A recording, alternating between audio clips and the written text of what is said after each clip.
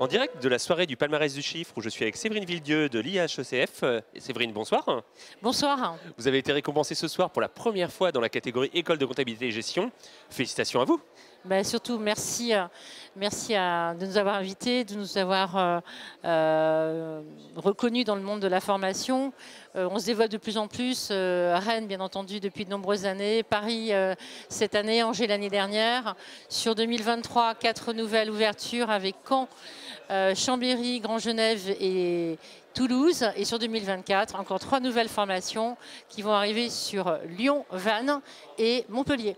Écoutez, c'est une belle actualité que vous avez là. On va suivre ça de très près, mais on tenait encore à vous dire bravo pour ce prix. Je vous en prie, merci à vous.